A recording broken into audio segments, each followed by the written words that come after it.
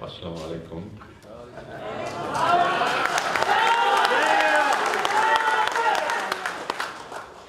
අපේ ගෞරවනීය මාදුලාවේ සෝවිත ස්වාමීන් වහන්සේ ඒ වගේම මා මිත්‍ර රාජශේඛරත්න මැතිතුමා MKDS පුනවන්දන මැතිතුමනි. විශේෂයෙන්ම ජාපාලනයක් සඳහා වූ සංවිධානයේ වේදිකාවේ සිටින මා හිතවත් නායකවරුනි. හිතවත් මාතෘ මාත්මිනී සහෝදර සහෝදරීනි මිත්‍රවරුනි මම මුලින්ම තවුන්නාන්සලාට යහපාලනයක් සඳහා බිහි කර ඇති සංවිධානයට ජනතාවගේ හඬක් ගොඩනැගීමට එවැගේම ඒ සඳහා කටයුතු කිරීමට බිහි කර ඇති ඔබේ සංවිධානයට මම මගේ ගෞරවනීය ස්තුතිය පුද කරනවා. අද මේ සන්ධ්‍යාවේ මට ආරාධනා කිරීම පිළිබඳව. තවුන්නාන්සලා අපි මේ රටේ සමස්ත ශ්‍රී ලාංකික ජනතාව අද බියෙන් ජීවත් වෙන යුගයක්. යුද්ධය අවසන් වෙලා රටට සාමය ලැබුණත් මේ රටේ නිදහස යහපාලනයේ නිදහස තිබෙනවාද කියන ප්‍රශ්නය සෑම කෙනෙකුගේම තමන්ගේ පපුව දන්නවා තමන්ගේ එකට සාක්ෂිය දන්නවා. good governance යහපාලනයක් තිබෙනවා නම් නීතියේ ආධිපත්‍යය තියෙන්නට ඕනේ. අධිකරණයේ ස්වාධීනත්වය තියෙන්න ඕනේ. තමුන්නාන්සලා දන්නවා මම පාර්ලිමේන්තුවේ ව්‍යවස්ථාදායකයේ සිගරට් පැකට්ටුවේ සෞඛ්‍යමය අවවාද පිළිකා රෝගියෙකුගේ පාර්ලිමේන්තුවේ රෙගුලාස් සම්මත වුණා සිගරට් පැකට්ටුවේ 180ක් තිබිය යුතුයි කියලා. පාර්ලිමේන්තුවේ 225 දෙනා මත උස්සලා සහයෝගය ලබා දෙනවා. නමුත් අධිකරණයේ කොමක් සිද්ධ වුණේ ඒ 160ක් කියලා තීන්දුවක් දුන්නා. විවස්ථාදායකයේ ගත්ත ප්‍රතිපත්තිමය කාරණාව අධිකරණය තුල සැහැල්ලුවට ලක් වුණා. බාල වුණා.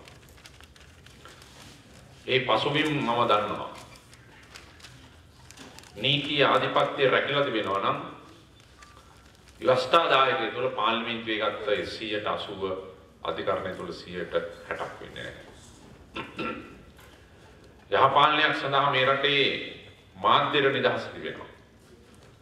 ජර්නලිස්ට් කෙනෙකුට ජනමාධ්‍යවේදියෙකුට තමන්ගේ අදහස පරිදි ලියන්න පුළුවන්කම තිබෙනවා.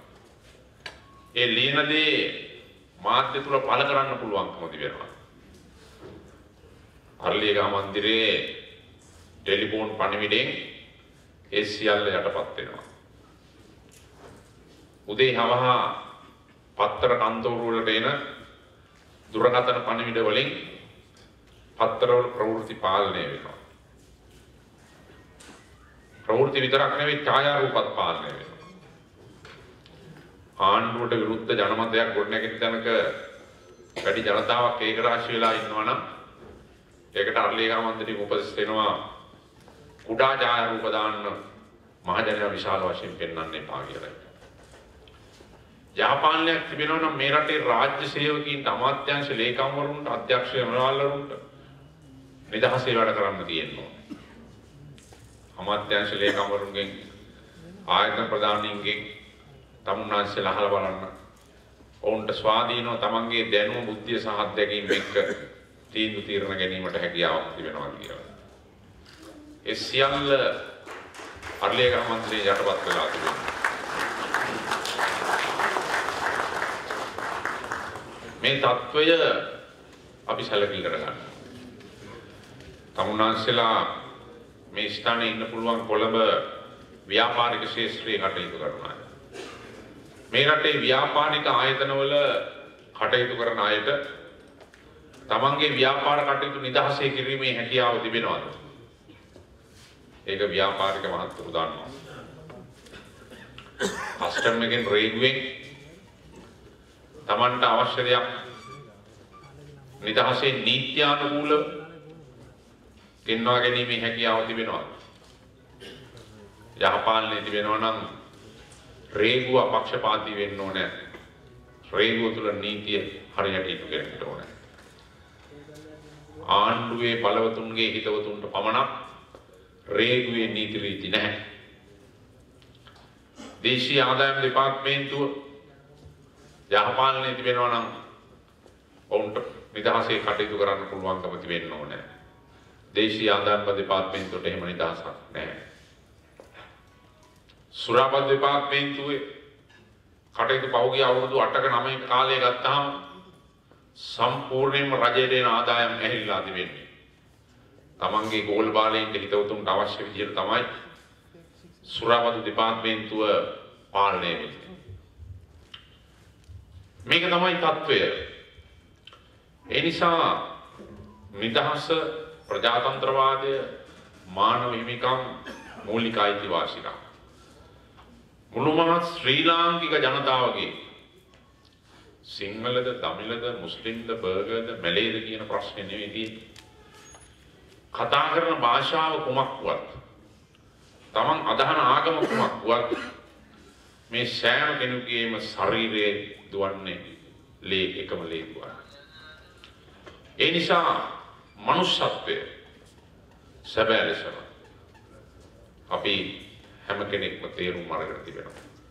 ඒ නිසා දෙසැම්බර් 8 වෙනිදා තමුන්නාස්සලා සියලු දෙනාගේ ආශිර්වාදයෙන් මාව පොදු අපේක්ෂකයා විදිහට තෝරගෙන තිබෙන්නේ ජනාධිපති වර්ගය සඳහා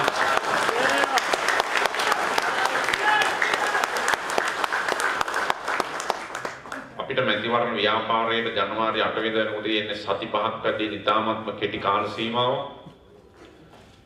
නමුත් පැහැදිලිව පෙනී යන දෙයක් තමයි අපේ නායක හාමුදුරනේ මේක මහ දේව ආශිර්වාදයක් වගේ දේව ආශිර්වාදයක් වගේ කටවුට් ගහන්න ඕන නැහැ පෝස්ටර් ගහන්න ඕන නැහැ.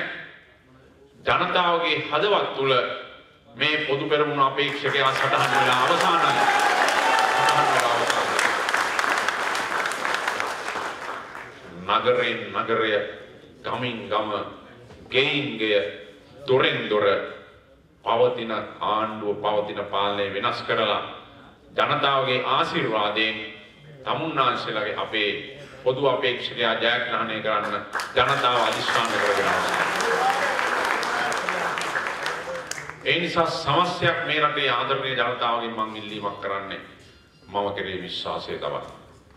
මම ඇමතිවරයෙක් විදියට පාර්ලිමේන්තු මන්ත්‍රීවරයෙක් විදියට මගේ දේශපාලන ජීවිතය අවුරුදු 49ක් ශ්‍රී ලංකා නිදහස් පක්ෂය අවුරුදු 47ක් ඒ කටයුතු කිරීමේදී පාර්ලිමේන්තුවේ සභානායක විදියට ශ්‍රී ලංකා නිදහස් පක්ෂය අවුරුදු 13ක් ලේකම් විදියට මගේ අත්දැකීම් සමග මම අවංකවම සැබෑ ලෙස තමුන්නාන්සලට ජනතාවට සෙනෙහබරව ආදරය කරමින් මගේ වගකීම සහ යුතුකම මම තමුන්නාන්සලට මේ රටේ සියලු ජාතීන්ට නිදහසේ කටයුතු කරන්න තියෙන්න ඕනේ. නිදහසේ තමන්ගේ භාෂාව කතා කරන්න. නිදහසේ තමන්ගේ ආගමික කටයුතු කරන්න. නිදහසේ තමන්ගේ එදිනෙදා ජීවිතයේ කටයුතු කරන්න. ව්‍යාපාරයේ කටයුතු කරන්න. ඒ නිදහස තියෙන්න ඕනේ. ඒ නිදහස මම සාතික කරනවා තමයි මේක වඩා මම කතා කරන්න බලාපොරොත්තු වෙන්නේ නැහැ. අපි විධායක ජනාධිපති ක්‍රමය අහෝසි කරමින් පාර්ලිමේන්තුවට බලය පවරමින් ජනතාවගේ නිදහස ප්‍රජාතන්ත්‍රවාදය යහපාලනය ශක්තිමත් කරමින් අපි මුළු රටක් විදියට අපේ වගකීම ඉෂ්ට කරමු. තමුන්නාන්සලට ස්තුතියි.